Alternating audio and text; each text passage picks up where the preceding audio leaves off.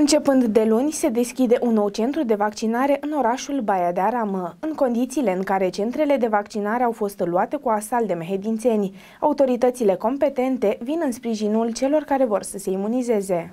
Noul centru de vaccinare va fi deschis luni în orașul Baia de Aramă pentru toți cetățenii orașului, dar nu numai. În momentul de față, în județul Mehedin sunt active șase centre de vaccinare, în ultimele 24 de ore fiind administrate la nivelul județului 1797 doze de vaccin împotriva COVID-19. În prezent, în județul Mehedinți funcționează șase centre de vaccinare. Dintre acestea, două centre se află la Drobeta, Turnul Severin, unul la polivalentă, la sala polivalentă și unul la stadion, unde funcționează cu trei fluxuri pe centru.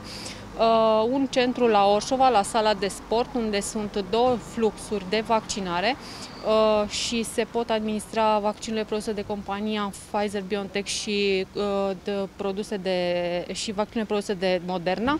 Uh, un centru de vaccinare este la Strehaia și unul la Vânju Mare, iar la Cerneți, uh, la Căminul Cultural, unde se vaccinează uh, cu vaccinul produs de compania Johnson Johnson de luni, 1 noiembrie, uh, se va deschide centrul de vaccinare de la Baia de Aram, de la, din cadrul Spitalului Orășinesc Baia de Aram. Cele mai multe doze administrate cetățenilor din județul nostru sunt vaccinurile produse de compania Johnson Johnson. În ultimele 24 de ore, în cabinetele medicale din județul nostru, au fost administrate 276 de doze, iar de la începutul campaniei, 8845 de doze Johnson Johnson.